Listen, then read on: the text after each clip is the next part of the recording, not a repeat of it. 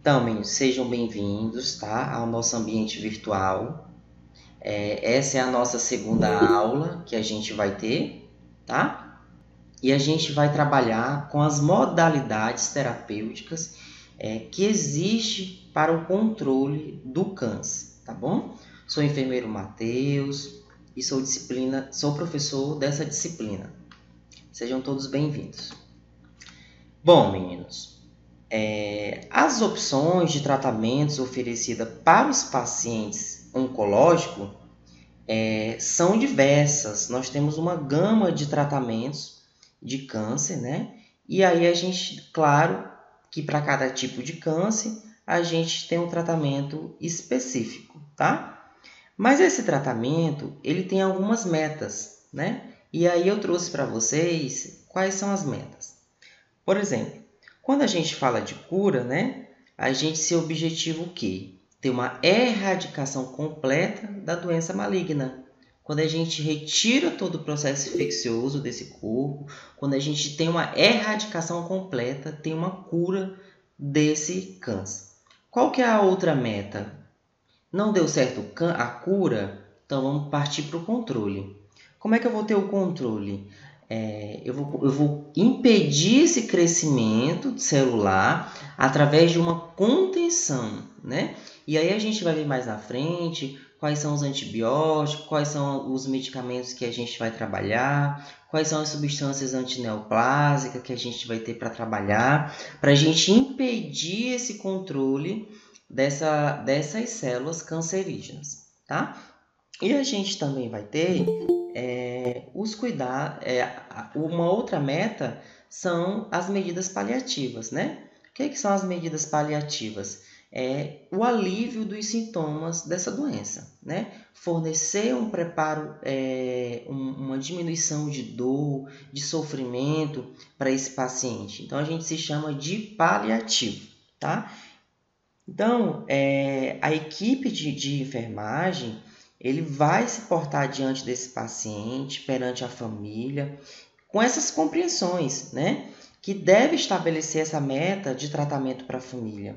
Essa comunicação aberta, ela acaba sendo vital para que o paciente e a família é, possam reavaliar esse, essa, essa, essas metas, é, que, que tem esse objetivo de traçar esse plano terapêutico e, e assim desenvolva e, e consegue até uma progressão melhor é, dos cuidados que esse paciente vai receber, tá bom? Então a gente pode seguir. Aqui eu trouxe para vocês é, é basicamente o, o, que eu falei anteriormente, né? E aqui a gente tem um elo muito importante que a gente precisa compreender e eu colocaria o paciente aqui no meio desse círculo, né? Então, compreender as opções e metas estabelecidas do tratamento, né? Através de que forma? Comunicação, né? Paciente é, tem um, uma, um, um processo patológico cancerígeno, então estabelece um vínculo com ele, estabelece uma comunicação afetiva com esse paciente, com o profissional, né? Aí aqui eu já trouxe para vocês o profissional que está inserido no contexto da equipe de saúde, né? A família que precisa ser inserida nesse tratamento, porque na maioria das vezes esse paciente é, ele vai ficar muito tempo internado, é um paciente que vai que requer um cuidado muito intensivo e a família acaba se envolvendo muito nesse processo de cura. Então é extremamente necessário estabelecer um elo, né, interrelacionar compreender essas metas do tratamento e envolver o paciente, envolver a família e o profissional, tá? Então, eu acho que também ficou bem claro. É, eu acredito que essa aqui é a parte mais enfática que eu queria trazer para vocês, né? Compreender esse tratamento que é muito, muito amplo, muito amplo, muito é, é, é muito robusto, na verdade, seria essa palavra que eu daria para vocês. É um tratamento que, que desgasta muito o paciente, desgasta muito o familiar, e a gente estabelecendo esse elo, a gente consegue ter resultados positivos, com certeza, tá bom? Então a gente pode seguir. E aqui eu trago para vocês as múltiplas modalidades é, de tratamento do câncer, tá? E aí varia para cada modalidade, desta, existe uma conduta, né? Existe uma conduta específica dentro da cirurgia, dentro da radioterapia, dentro da quimioterapia e dentro da terapia direcionada, tá? Então, é, é importante entender esses princípios de cada uma delas, é, porque elas se relacionam, né? E elas acabam interferindo no, no resultado do tratamento desse paciente. Então, mais na frente a gente vai falar detalhadamente de cada uma delas, tá? Mas eu quero que vocês entendam quais são essas modalidades. Isso é questão de prova, tá? Coloca aí BPP, boa para a prova. Quais são as modalidades para tratamento do câncer? Uma, primeira, cirurgia. Segunda, radioterapia. Terceira, quimioterapia. Quarta e última, terapia direcionada. Então, escrevam isso daí, tá, meninos? Podem me seguir. Cirurgia, né? Então, a cirurgia é, constitui o método de tratamento mais utilizado, né? Pacientes oncológicos, o, método é, mais rápido para eles e mais conveniente, mais fácil para a população médica é a cirurgia, né? No entanto, essa cirurgia ela pode variar por diversos motivos, né? Sejam, será que esse paciente é idoso? É, na maioria das vezes, a gente observa que é um paciente, por exemplo, que tem um câncer é, de intestino e ele tem 90 anos de idade. E aí? Será que compensa cirurgiar esse paciente que é cardíaco, é um paciente que é, é nefropata, um paciente que tem problemas é, no fígado, é um paciente que é cardíaco, tem problemas cardiovasculares. Será que compensa fazer essa cirurgia, né? Então são reflexões que a gente vai ter também durante essa aula. Mas a cirurgia é o método de tratamento mais frequente utilizado, tá bom? Dentro da cirurgia, nós temos a cirurgia diagnóstica. Essa cirurgia diagnóstica, é, ela é feita por meio de uma biópsia, né? Dentro de um, é, analisando um tecido de células que são suspeitas né, para um possível câncer, e a partir disso é, se tem um resultado, tá? A partir dessa biópsia desse linfonodo, ou seja, na área que tem suspeita de, de câncer propriamente dito nos linfonodos, por exemplo, é, pacientes é, quando descobrem que tem câncer no fígado. É, o paciente ele é submetido, eu, eu já assisti algumas biópsias e eu falo isso com propriedade para vocês. Lá na infectologia, como é que funciona? O médico infectologista chama a equipe de enfermagem, né? É, informa que vai haver um paciente que vai ser submetido a uma biópsia. Esse paciente precisa receber uma indução anestésica geral e local, ou local, dependendo da situação. Geralmente é local não precisa entrar com uma intervenção geral. A geral fica mais é, dentro de um centro cirúrgico, ou seja, uma biópsia mais ampla ou uma biópsia mais complexa, tá? Mas essa biópsia é realizada dentro, dentro de, uma, de uma sala de pequena cirurgia ou até mesmo na enfermaria. E aí, é, a equipe de enfermagem prepara o material para a biópsia, né? Vai ser realizada uma incisão cirúrgica, pode ser é, realizado uma biópsia por um aspirado de um material líquido, tá? Depende do tipo de câncer e a sua especificidade. Queridos técnicos de enfermagens, tenham cuidados durante posicionar um paciente desse, tá? Uma biópsia, ela precisa de muita atenção do técnico de enfermagem ao posicionar o paciente, tá? Algumas biópsias, é, se for retirar um líquido na região medular, é necessário que o paciente fique numa posição é, lateral quando ele fica deitado. Então você posiciona bem ele numa posição mais adequada e pede para o paciente não se movimentar, tá? Porque num movimento qualquer, esse paciente ele pode sofrer é, durante essa punção pode acontecer um movimento brusco e esse paciente pode ficar paraplégico, tetraplégico e, ou, e outras complicações, tá? Então a enfermagem nesse momento exerce um papel fundamental na posição, tá bom, meninos?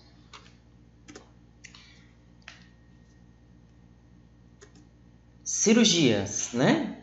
Dentro das cirurgias, é, nós temos excisional, né? Que são locais de fácil acesso, tá? Isso aqui é a classificação das cirurgias, tá?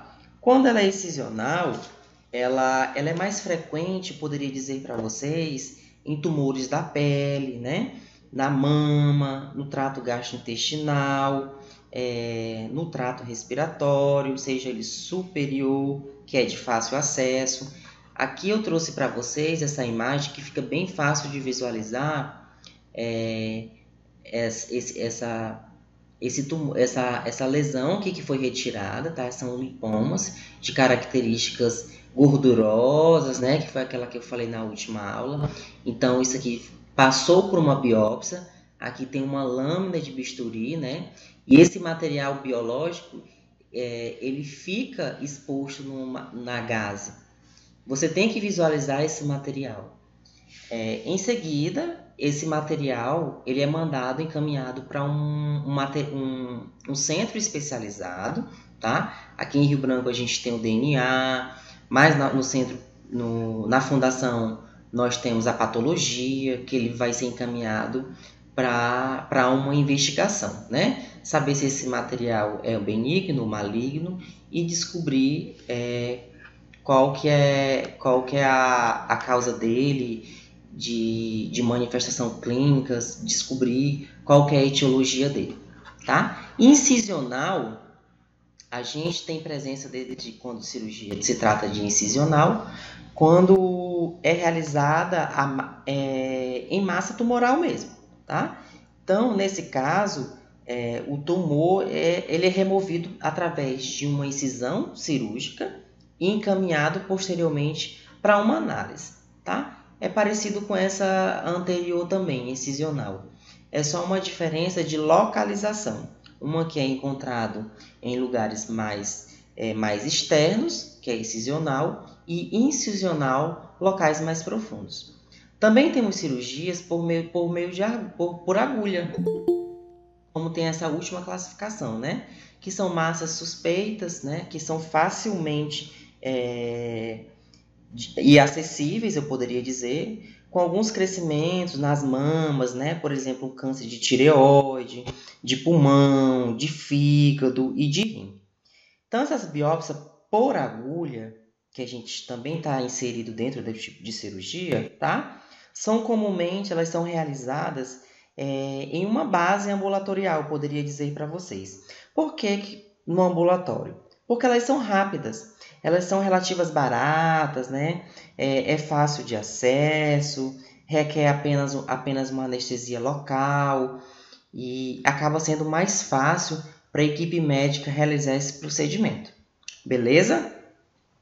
Então a gente pode passar também e aqui a gente já pula para a cirurgia como tratamento, como tratamento, tá? Então a gente quais são os tipos de cirurgia que a gente vai ter? Os alunos ainda estão entrando, por isso que eu peço que eles é, obedeçam o horário de entrada, tá, meninos? Porque acaba atrapalhando a aula, interrompendo o professor. Então, dê uma frisada nos alunos, nos grupos, é, para que entrem cedo, tá? porque os alunos vão entrando, pedindo para entrar e eu tenho que aceitar, tá bom?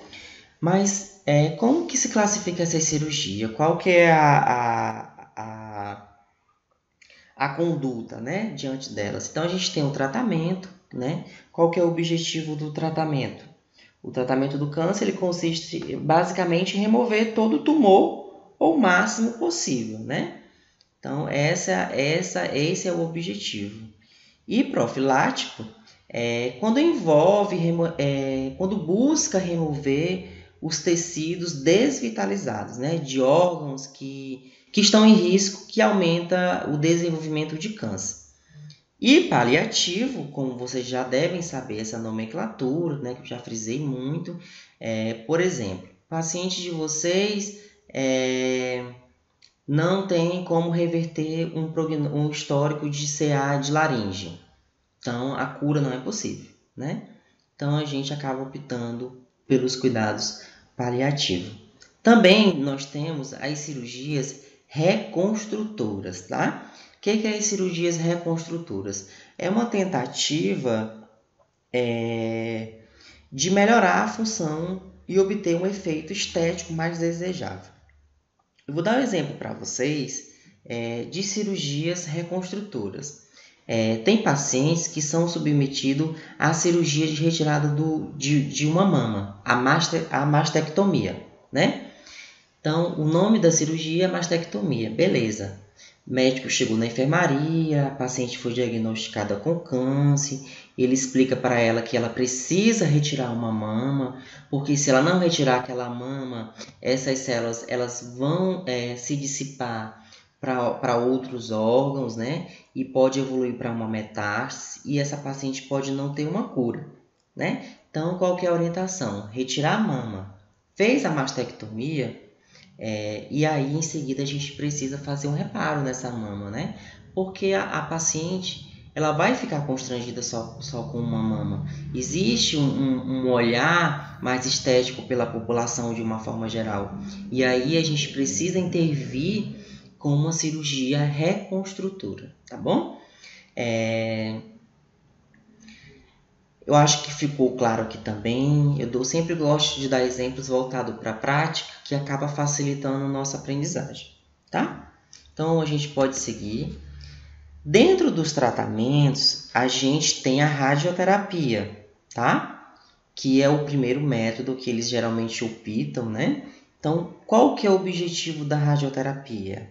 A radiação, ela é usada para curar o câncer, né? Seja um câncer de tireoide, seja um câncer de cabeça, de pescoço, do colo do útero.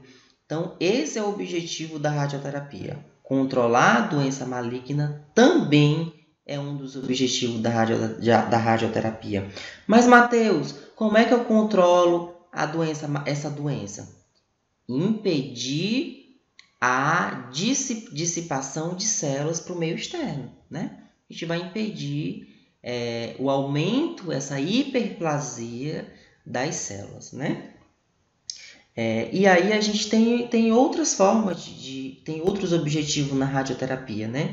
Nós temos o, o, o modo neodjuvante, que ele também ele pode ser realizado antes do tratamento definitivo, tá? Ele é conhecido por essa nomenclatura, tá? E a gente tem as medidas profiláticas, né? Então, quais são essas, essa, essas medidas profiláticas? Antibiótico terapia, medicação, tá? Envolver esse paciente para que evite uma metástase. O que é a metástase? É quando o tumor já se evadiu para os outros órgãos, tá? E temos, por último, dentro da radioterapia, lá embaixo, quando tudo não deu, quando você tentou de tudo e nada disso deu certo, a gente infelizmente parte para a medida paliativa, né? Então a paliativa serve para aliviar os sintomas da doença metástica mesmo, que infelizmente a, os pontos mencionados acima não deu certo e aí a gente vai tratar como medidas paliativas, tá? Então a gente pode seguir também, acredito que ficou bem claro essa parte para vocês, tá, meninos? E aí, foi feito tudo isso, esse paciente foi submetido a quimioterápicos, né? Que mais na frente eu vou explicar para vocês. É, foi submetido é, à radioterapia, tomou é, algumas. Usou. Tomou não, nunca fale tomou, pelo amor de Deus.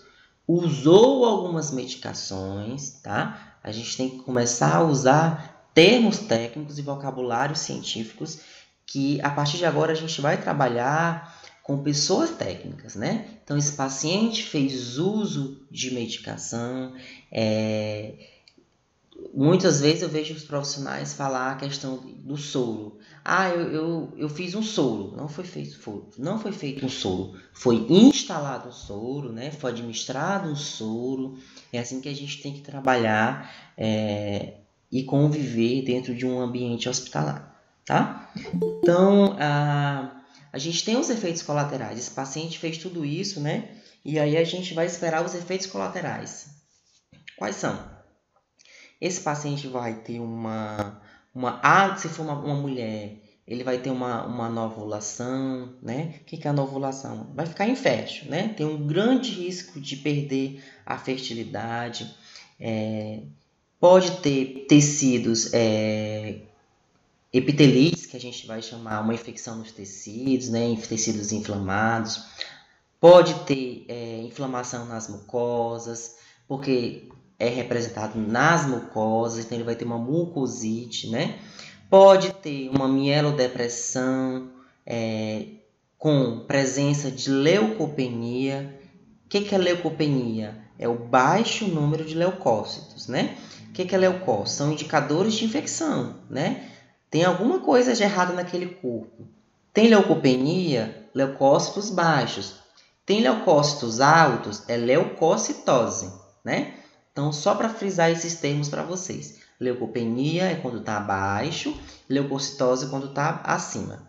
Plaquetopenia também, esse paciente. Se ele tem uma plaquetopenia, é porque a plaqueta dele está baixa. Plaquetas baixas, gente, é muito risco. Por quê? Primeiro que esse paciente ele tem um alto risco de sangramento. Né? Então já tem que pensar isso. Peguei um, um, um, um exame lá na minha enfermaria, eu, como enfermeiro, todas as vezes que eu imprimo o exame de um paciente, eu já olho esse exame. Será que a primeira coisa que eu já olho nesse paciente? Hemoglobina. Hemoglobina desse paciente está baixa, risco esse paciente não tem sangue, esse paciente corre um risco muito grande de ter uma parada, esse paciente corre um risco muito grande de ter um choque hipovolêmico, esse paciente precisa ser hemotransfundido de imediato, senão ele vai parar. Muitas das vezes, é, os técnicos de enfermagem, é, ele, ele, eles não sabem reconhecer isso dentro de um exame. Não é competência do técnico de enfermagem ler exame. Realmente é. Mas deixa eu falar um negócio para vocês. É, teu paciente oncológico está lá na enfermaria, médico passa, vai passar a visita para ele é, só amanhã, Passou a visita hoje já. Eu acho que alguém tirou a minha tela. Só um minutinho que eu vou interromper e voltar para minha tela, tá?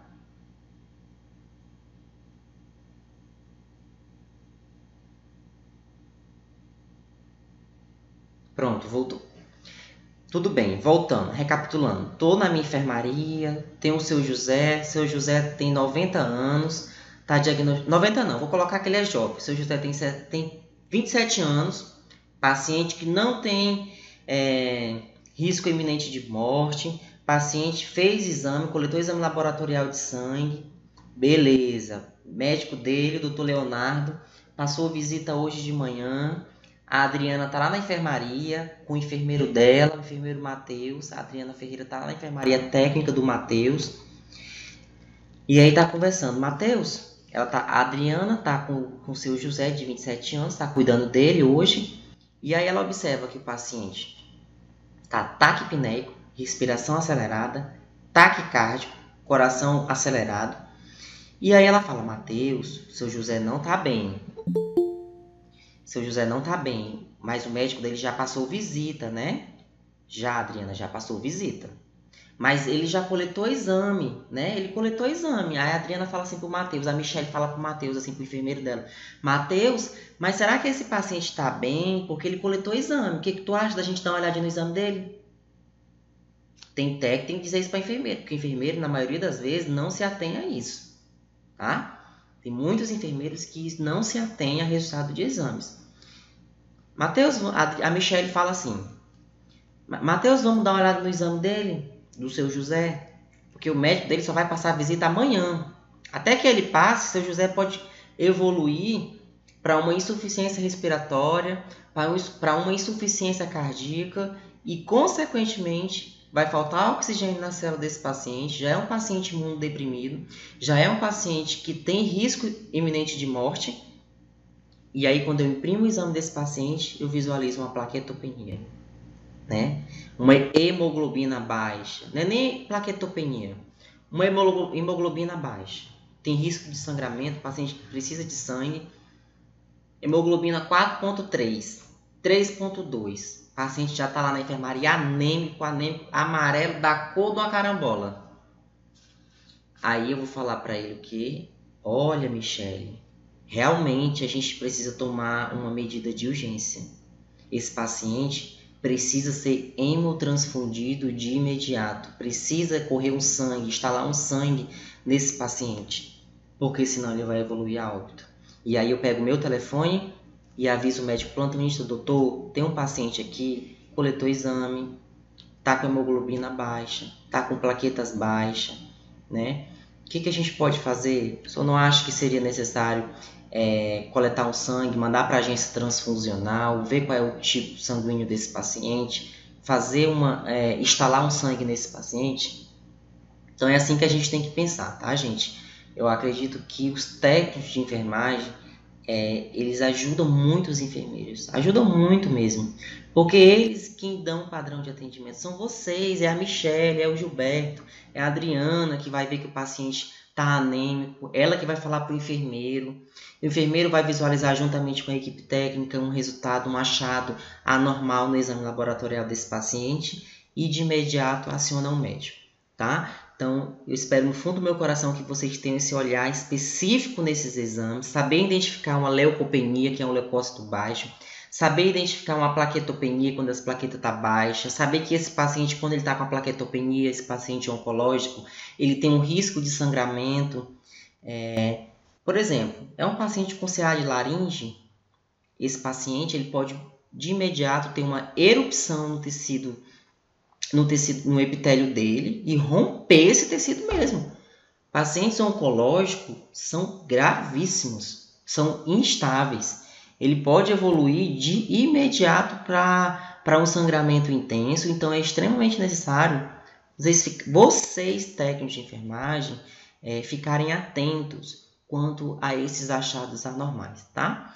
Então, esses efeitos colaterais de imediato são esses. E aí a gente vai ter os efeitos colaterais tardios, tá? Que a gente pode ter uma atrofia, né? É uma redução de uma célula, redução de algum de, de, de, de células que esse paciente já tinha oncológica, né? Pode ter uma fibrose hepática, por exemplo, no fígado desse paciente ele pode ficar fibrótico, né? ficar com tecido mais rígido mesmo e perder a sua função, ou ele pode ter uma atrofia se for a nível de fígado, tá, meninos?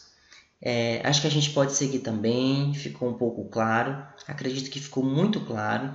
É, eu vou passar sempre para vocês essas questões de autonomia, tá? De que vocês precisam ter essa autonomia, vocês precisam ter um conhecimento acima do de vocês, porque conhecimento nunca é demais tá bom? Então tá. Então vamos para outra outro tratamento, né, que a gente vai ter que também é muito utilizado, que é a quimioterapia, né?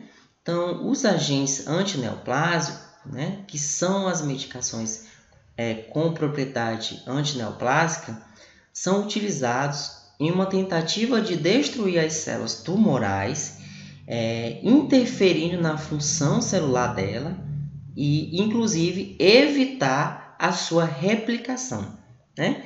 Então, a quimioterapia é, ela tem esse objetivo de destruir as células tumorais, né? interferindo na sua função celular, né? impedindo esse, essa replicação. E aí, a quimioterapia ela pode ser combinada, tá? que ela pode ser cirúrgica, né? Pode trabalhar quimioterapia utilizando forma cirúrgica também, pode fazer também de forma combinada com a radioterapia, tá? Pode ser ambas, visando, é, óbvio, é, reduzir o tumor, né?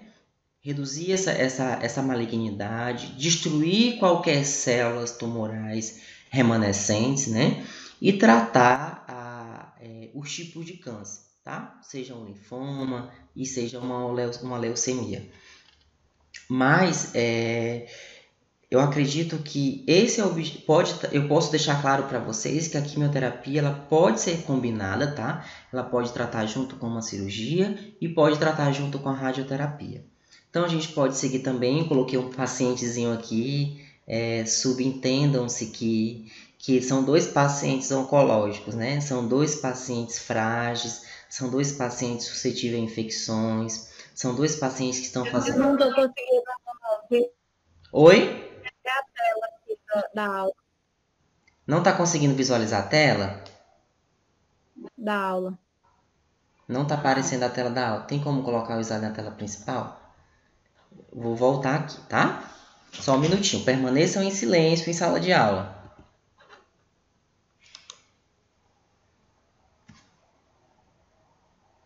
Voltou a tela?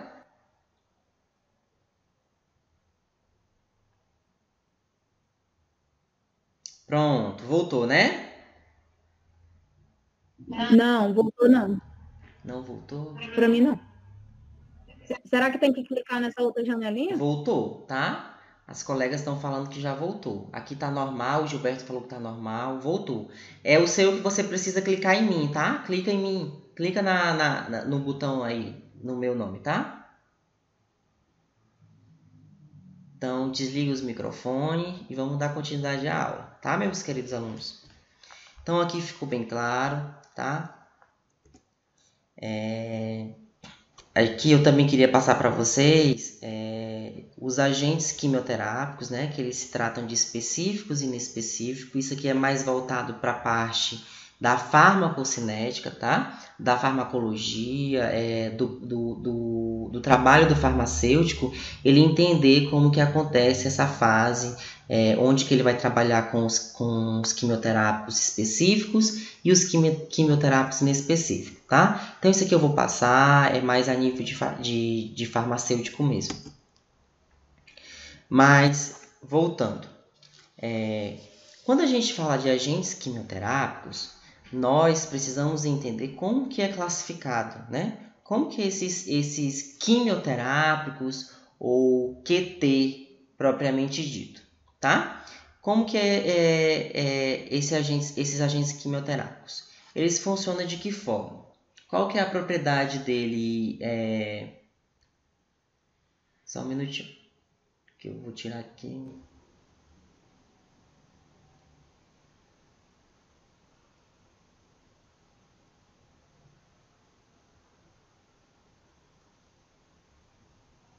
Pronto. É, aí a gente vai falar basicamente das medicações, né?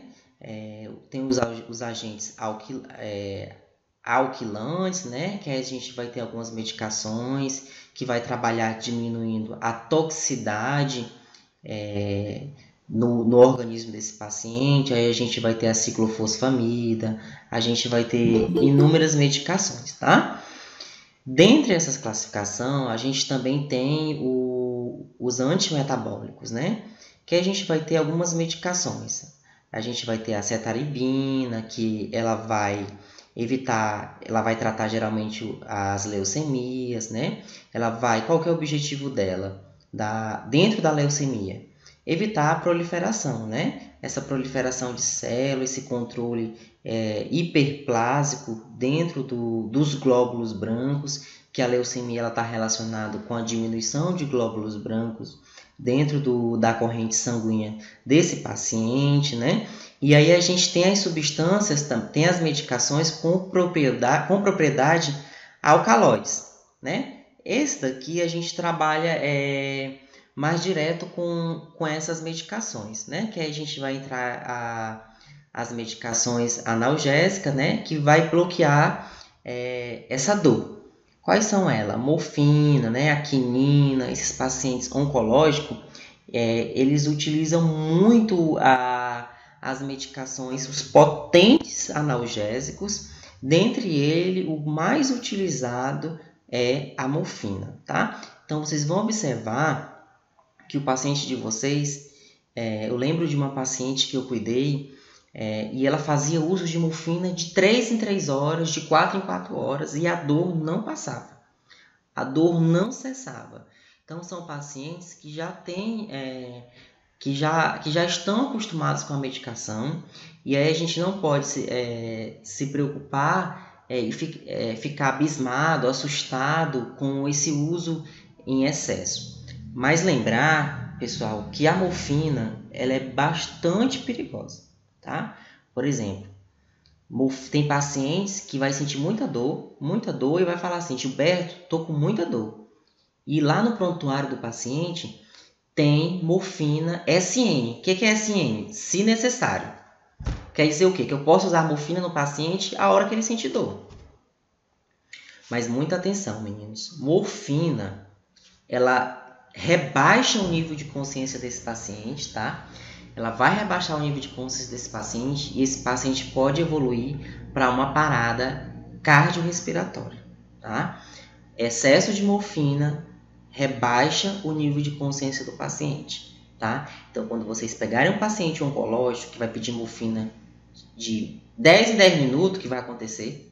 Então, expliquem para ele que ele corre um grande risco de rebaixar, tá? Então, a gente tem que ter um controle é, bem rigoroso e deve dosar esse uso com toda certeza, tá?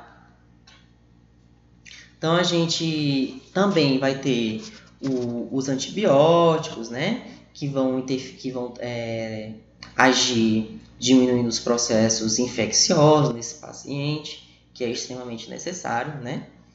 Sempre o médico vai adotar o uso de um antibiótico. E aí, quando eu falo de antibiótico, é, eu gostaria de abrir um adendo para vocês, tá? Antibióticos, meninos, precisam ser instalados, precisam ser administrados no horário correto, tá? Principalmente pacientes oncológicos, né?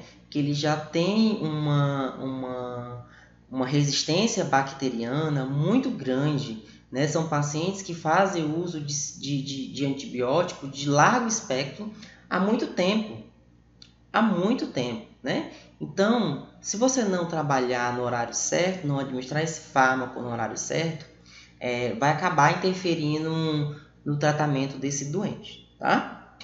Então, são questões que eu chamo a atenção para vocês, que eu acho que é muito importante a gente ficar atento, tá? E que vale a pena a gente comentar. Então, a gente volta a falar um pouco da, dessa toxicidade que essas medicações levam para o paciente, né? E aí a gente vai falar é, em cada, cada sistema, né?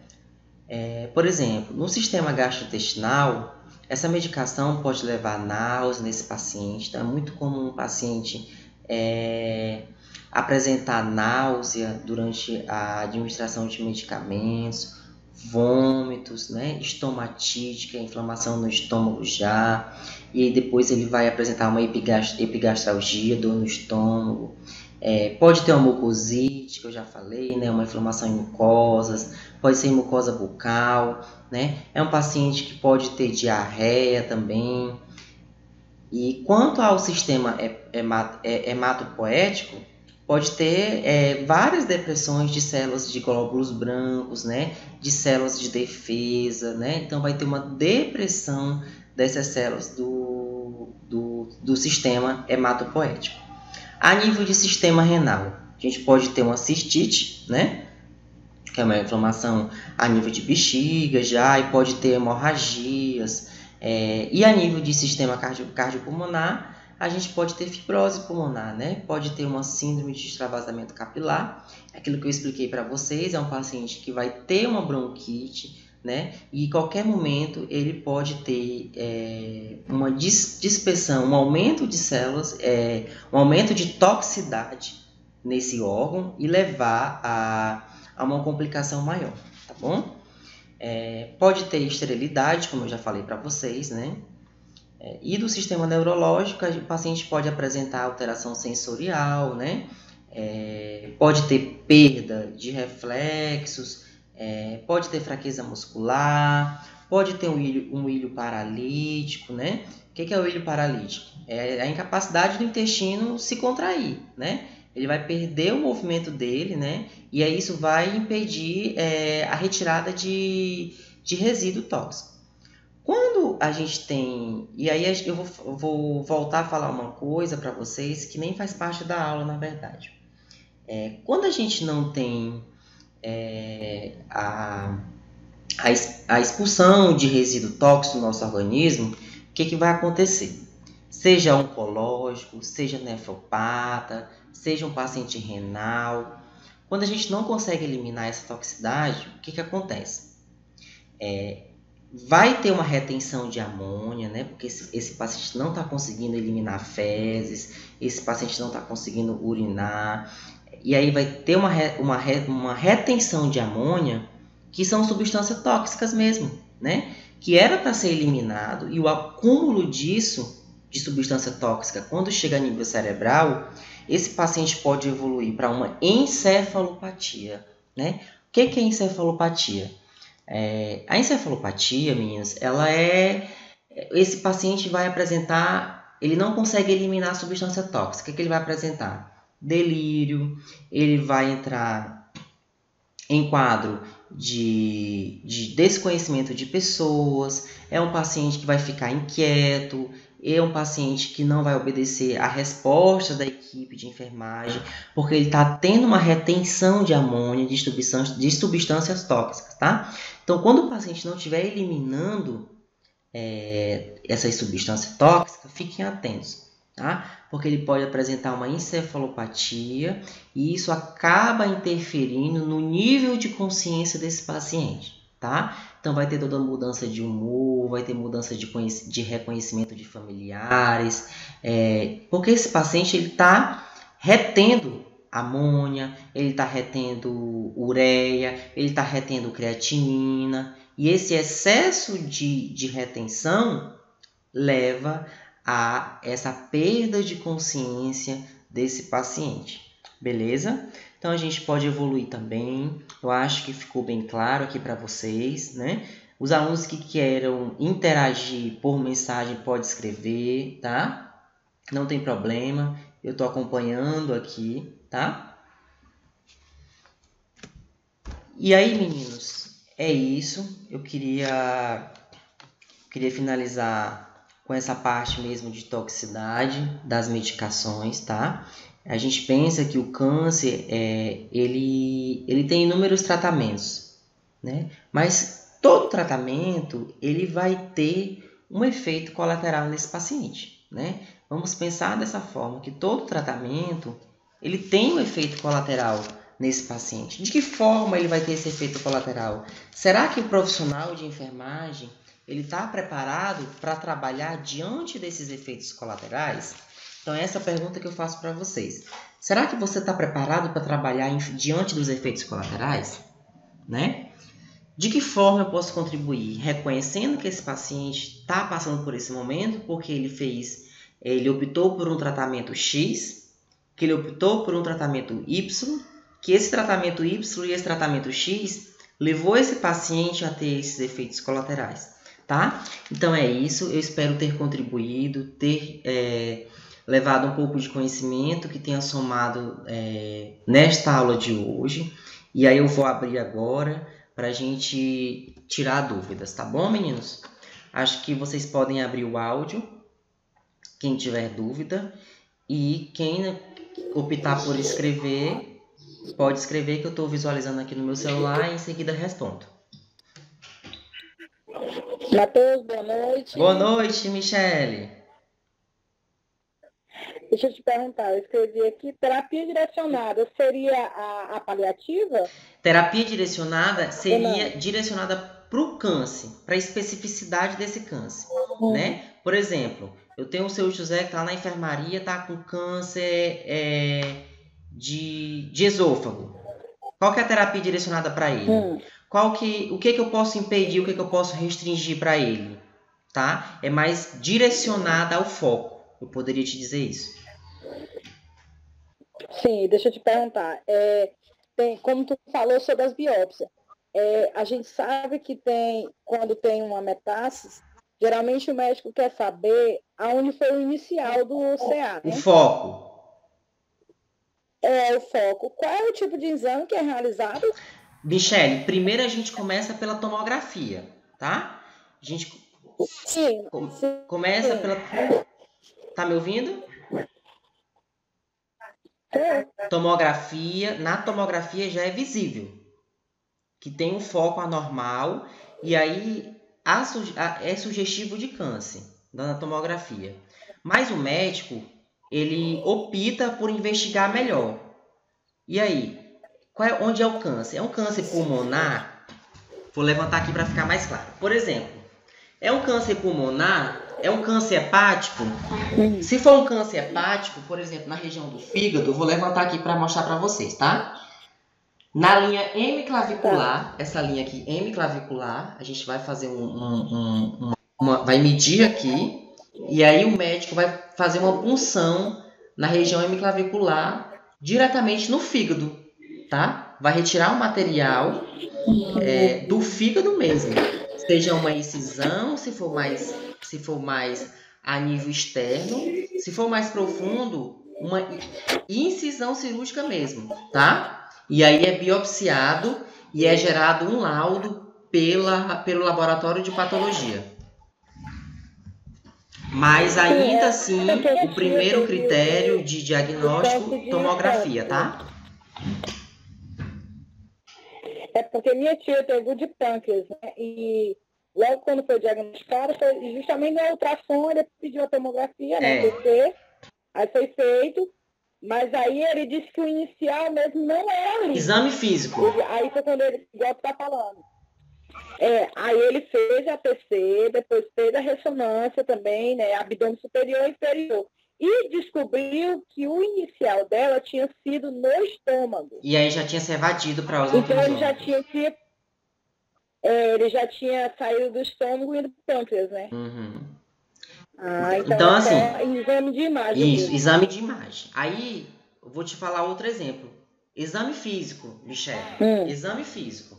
Por exemplo, é, área cardíaca. Quando eu tenho alguma coisa é, fora do normal da, da região cardíaca, eu costumo fazer o exame físico. Faça a percussão, né? Onde que eu for fazer, é, a- onde eu for Uhum. percutir, onde tem som maciço, gente, isso é, é conhecimento para vocês que vai ajudar muito a vida de vocês, tá? Por exemplo, no exame físico, quando eu vou fazer a percussão, onde eu faço a percussão e tem som maciço, aquele som, aquele som que é, que tem presença de órgão, vai ser um som oco, tá? Vai ter presen- você vai perceber, ó, vê se vocês escutam.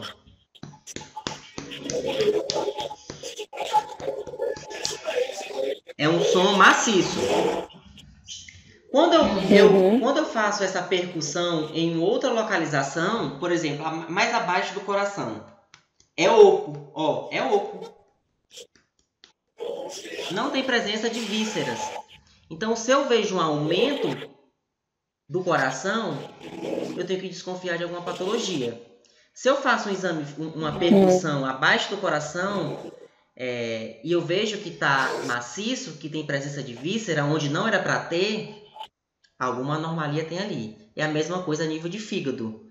Então, primeira coisa, fez o exame físico no fígado, fez percutiu o fígado, viu que o fígado está aumentado, é, que a gente chama, é, a gente já é um dos sinais primeiros que a gente detecta no exame clínico, tá? Faz o exame físico, né? E aí viu se, se, se, essa, se tem alteração no tamanho da, da anatomia do fígado, tem, pede ultrassonografia o médico.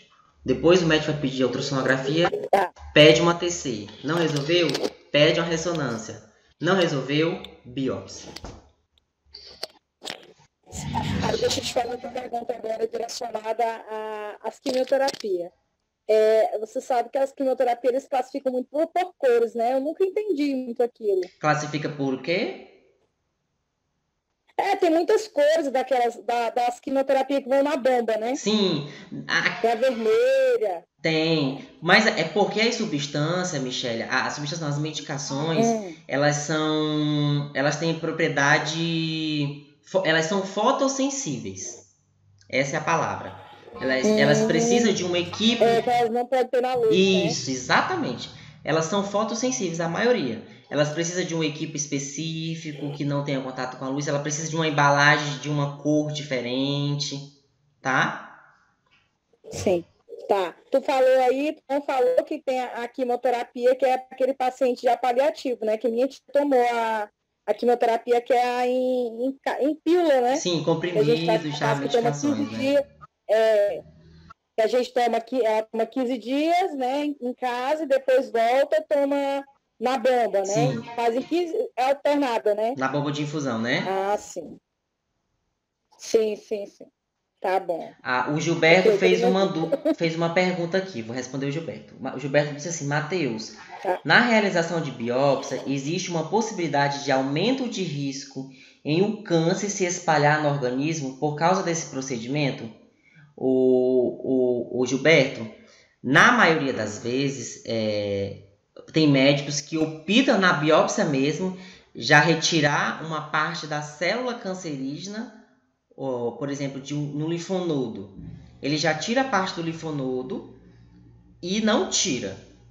Mas te dizer assim que existe no procedimento um risco de é, espalhar as células, eu não poderia te afirmar isso. Eu acho que é uma coisa mais médica mesmo, é, bem clínica, mas que eu, eu ainda acredito que não tenha nenhum risco, tá, Gilberto? Eu poderia te afirmar isso com quase toda certeza, mas é uma coisa mais a nível médico mesmo. Porque uma punção, você vai retirar o material biológico. Você retira o material daquele, daquela localização é, sem sofrer nenhuma alteração celular. Porque o que vai acontecer, é, a evolução dessa célula, não é uma movimentação, consegue compreender? E sim o tempo. O tempo que vai levar essa, esse aumento de célula. Consegui tirar a tua dúvida, Gilberto?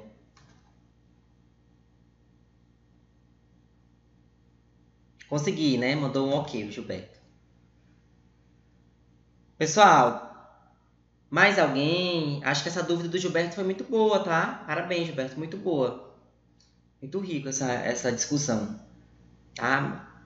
É como eu digo, conhecimento nunca é demais, não importa se é técnico, não importa se é enfermeiro, né? A gente tem que, tem que saber mais, porque na maioria das vezes vai chegar médico e vai te dizer que, que, que aquilo, aquilo é indicado para aquilo e não é indicado para aquilo. E você vai dizer, doutor, não é indicado para isso. Não é indicado para isso. Tá aqui, esse é o embasamento científico que eu tenho. O senhor segue se o senhor quiser.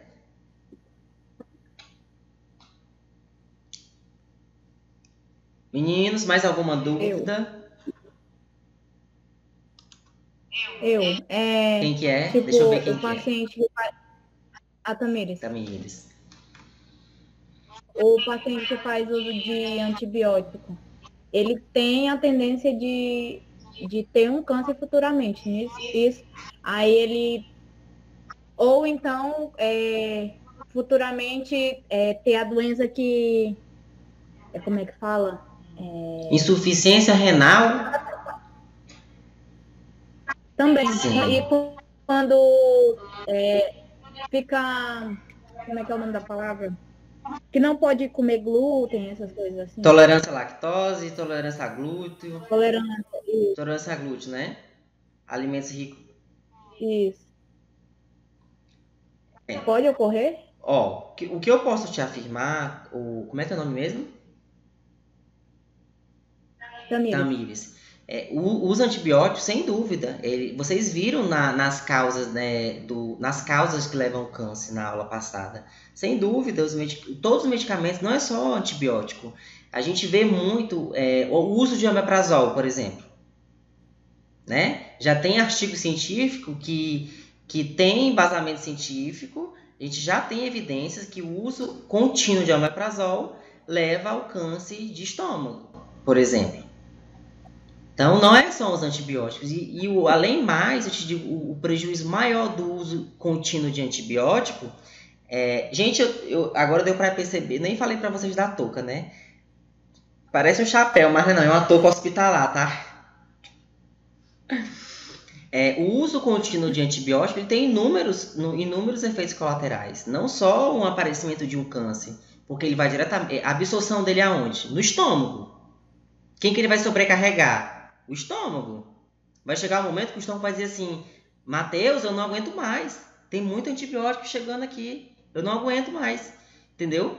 E aí evolui, evolui para um câncer, evolui para uma gastrite, evolui para inúmeras complicações. E o, o, antibiótico ele tem efeitos devastadores, ele pode evoluir para uma insuficiência renal, né? É um paciente que pode evoluir para inúmeras complicações.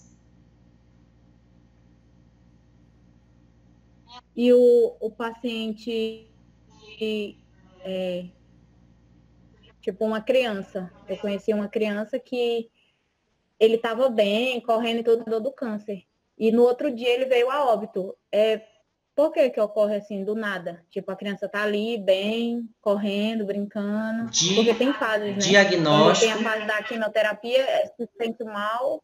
Sim, aí eu vou te falar. O que leva à morte mais rápido? Diagnóstico tardio.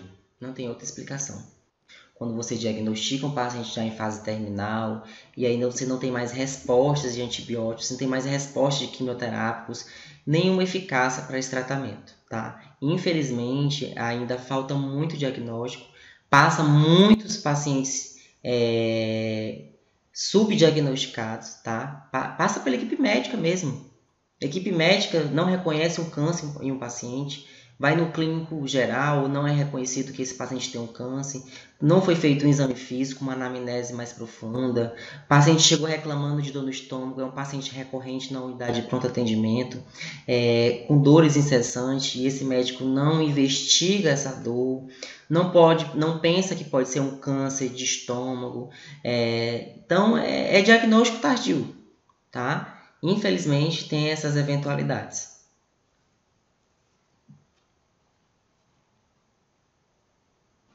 A Vanessa falou: Mateus, pacientes em estágio terminal continuam fazendo tratamento até o final da vida.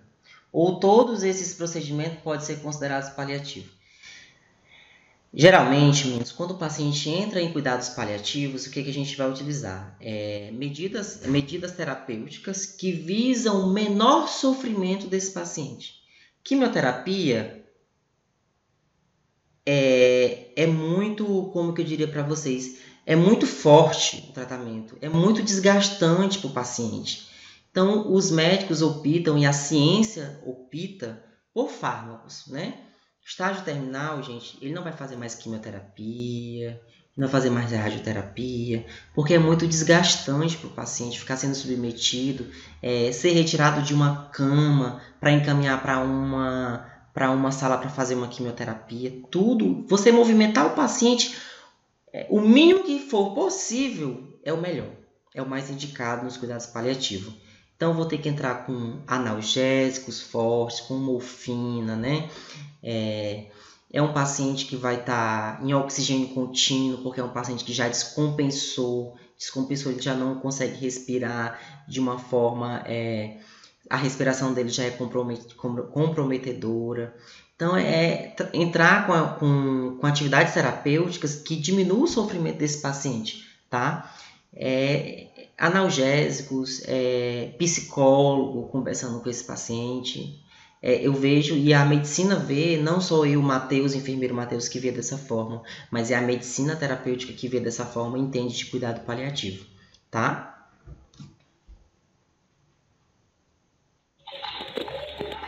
Matheus, igual a minha tia, ó. A minha tia, quando anda a ser diagnosticada.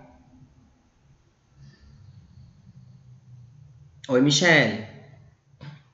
O CA do PAN. Certo.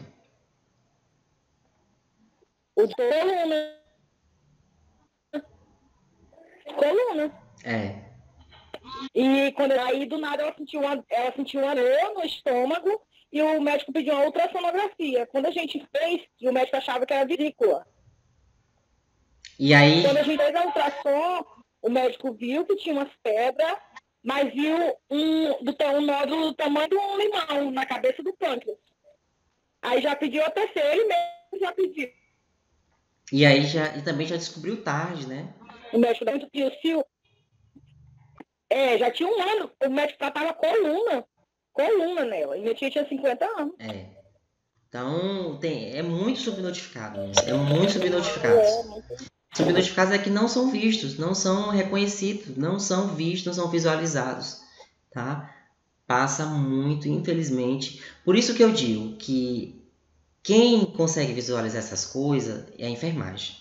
Quando eu falo enfermagem, não sou eu enfermeiro somente, são os técnicos também, né? Porque se eu tenho conhecimento, se eu sei rastrear um câncer, se eu sei rastrear uma suspeita de uma, de uma determinada patologia, eu vou, eu peço outros exames mais específicos, até achar que não é ou que é.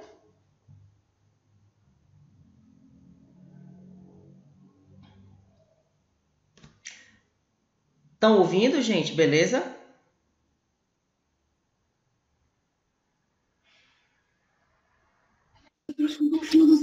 Matheus. É, o paciente que faz a quimioterapia, a radioterapia, né? É, essa radiação fica no corpo do paciente até quando? Ele fica exposto pro resto da vida. Radiação não tem tempo, tá? Sofreu radiação, esse paciente corre um grande risco de, de piora clínica ainda mais, tá? Lembra da, da outra aula que eu falei que a gente tinha muita exposição à, à radiação dentro de uma UTI, porque era necessário fazer exames é, de imagem e a gente era mais suscetíveis a, a, a câncer também, por conta da exposição de, de, de radiação mesmo, tá? Por que, que o profissional da radiologia ele é afastado, ele, ele aposenta mais rápido que o enfermeiro? O profissional da radiologia aposenta bem mais rápido, porque ele é exposto é, a, a, a, um tratamento que tem muito risco para ele. Né? E aí eu fico mais indignada ainda que a gente também passa por esse risco, a gente também sofre esse risco junto com ele e a gente não tem nenhum benefício voltado para essa para esse sentido, entendeu? Então, qual é o cuidado que uma pessoa que passou por esse procedimento deve tomar? Terapêutico nenhum evitar a exposição, tá? O tempo, é, evitar a exposição. Por isso que na maioria das vezes, vou dar até outro, um, um, vou falar o que acontece muito. E, e a alimentação também, depois que você faz a rádio, prejudica todo o seu corpo, né? É, fica muito debilitado. a alimentação e a alimentação também ajuda bastante, porque depois que você faz a rádio, você não pode comer praticamente cortar tudo, refrigerante, carne. É. Eu vou dar outro exemplo para vocês. Tem paciente na enfermaria de vocês, daqui uns dias vai ter, em nome de Jesus, se vocês estão, estarão trabalhando já. É, vai ter paciente, vai ter médico, na verdade, que vai pedir uma tomografia, vai pedir um raio-x todo dia. Todo dia vai pedir um raio-x ele não vai se é, não vai entender. Tem médico que não olha nem o prontuário do paciente. Lá dentro do prontuário do paciente, todo dia tem um raio-x guardado, que é arquivado lá dentro. Tem médico que não vai olhar se tem raio-x, só vai pedir. médico chegou hoje pediu raio-x. Raio-x do fulano, fez raio-x. No outro dia vem outro médico. Principalmente no, na, rede, na rede pública, é, que, que os médicos, todo dia é um médico diferente, nunca é o um médico o mesmo médico, né? E aí todo dia vai o médico, todo dia o médico pede raio-x, raio-x, raio-x, raio-x. Você vai falar assim, doutor, esse paciente já fez raio-x? Doutor, tem raio-x desse paciente lá na colmeia, no prontuário dele. O senhor não viu, não?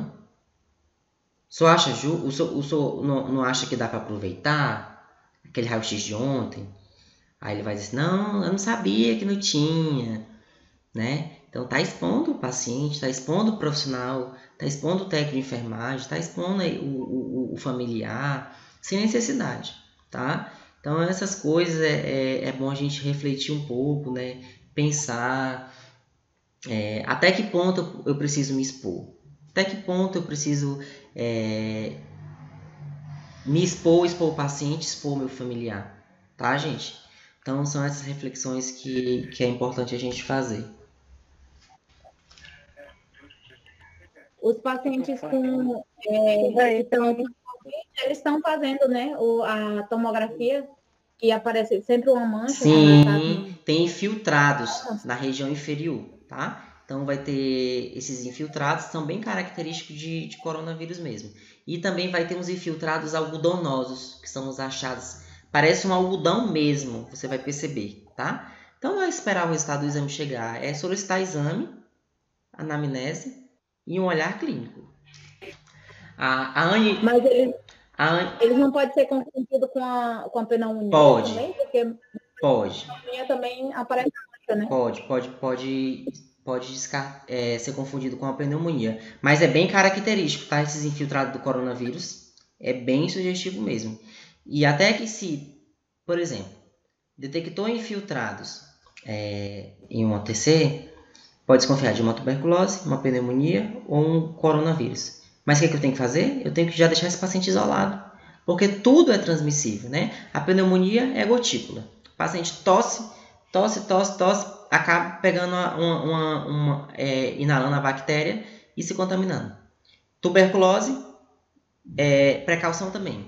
Coronavírus, muito pior. Então, isola esse paciente. Achou infiltrado é, anormal, isola o paciente, espera exame laboratorial para descartar. Mas o coronavírus, o, o- o- esqueci o nome da colega que fez a pergunta. Tem outras, tem outros achados, é, por exemplo, no hemograma tem presença de leucopenia, tem plaquetopenia, tem, tem outras, tem, tem a- as enzimas cardíacas, pode ter alteração, tá? Troponina elevada, que são as enzimas cardíacas, também com- comprovam que pode ser, além de ser um infarto, também pode ser uma, um coronavírus, tá? Então não precisa esperar o PCR chegar daqui 10 dias, esperar pela boa vontade do, do Merrier, não. Então a gente consegue detectar essas coisas com, com, com medidas simples, né? Um exame laboratorial que sai com oito- no máximo 8 horas, um- uma tomografia que o laudo sai no máximo em 3 horas, um exame físico que você faz detalhadamente no máximo em uma hora, né? A colega fez uma pergunta aqui. A, colega fez uma pergunta, não. A Anne fez um comentário. Meu pai faleceu recentemente, ele era um paciente cardiopata, né? Teve várias crises de encefalopatia, né? Era algo muito triste, pois ele esquecia totalmente de tudo. É tudo que eu falei, né? O paciente perde, é, ele entra em colapso total de memória, né? Porque ele está retendo muita amônia, está retendo muito cálcio, retendo é, ureia, creatinina, e tudo isso vai para o encéfalo e isso leva esse paciente à perda de consciência, tá? Tem pacientes que eles evacuam no leito sem impedir, tem pacientes que não reconhecem é, o familiar, que não reconhece que está no ambiente hospitalar, que vocês vão ver o paciente que fica em pé, por exemplo, em pé no leito, querendo quebrar a lâmpada, brincando com a lâmpada e achando que tudo está normal, como eu já vi, tá? Então são pacientes instáveis mesmo, estável mesmo, tá? A Nayara teve um, uma outra pergunta aqui. Meu tio estava com pneumonia e foi transferido ele para o segundo distrito, fez o primeiro exame de corona, deu inconclusivo. Fez o segundo, deu negativo. Fiquei com medo dele pegar lá. Acho que a gente já está entrando em outro mérito, né? Tá querendo falar já, ligou um pouco ao meio coronavírus, mas a gente tem que continuar na mesma linha de raciocínio de pacientes oncológicos, tá? Mas é isso mesmo, tá? Gostei, a Nayara fez um questionamento bem, bem legal. Acho que ele fez o certo, tá? Voltou, ficou com medo de pegar lá, né? Na maioria dos casos as pessoas vão para um atendimento e acaba se contaminando lá, né? Mas voltando, eu acho que, que era isso que eu tinha que contribuir para vocês. Eu gostaria de saber se mais alguém tem alguma dúvida. E aí eu deixo aberto. Tudo ok? Nayara, ok? Sim, tudo ok. Tudo ok, tudo certo. Tudo, tudo alright, né? Tudo. Faltamos a, ao, ao bolo. Quem, quem vai dar o bolo?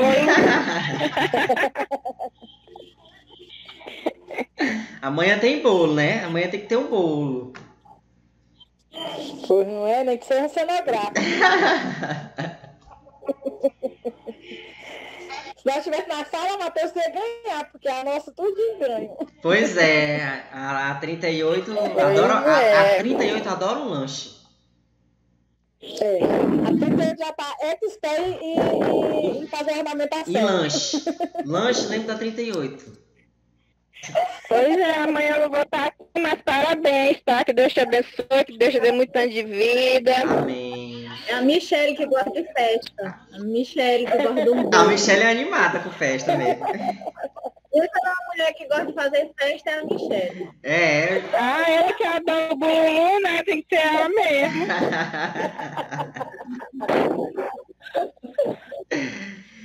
Pessoal, tudo ok? Tudo. Tudo. Então tá. Eu encaminho para vocês os vídeos amanhã, os dois vídeos, tá bom? Matheus tem que passar Tá atividade. bom. pra nós. Vocês querem atividade? Eu quero. Então tá, vou, Então a gente aprende mais, pesquisa. vou mandar então a atividade amanhã, tá? Vou Tá. mandar. Aí eu mando esse lá no grupo. Isso. A Fran, Tá a Fran também quer atividade. Vou mandar uma atividade. É porque é bom que Tá. é, a gente raciocina melhor. Beleza. pesquisando. Ótimo. Amanhã, É, amanhã de manhã ideia eu mando os vídeos e a atividade, tá? Tá bom. Boa noite, Tá, Matheus. Tchau, tá, gente. boa Todos noite. tenham uma excelente noite, tá? Fiquem com Deus. Você também. Tchau. Tchau. Feliz aniversário. Obrigado.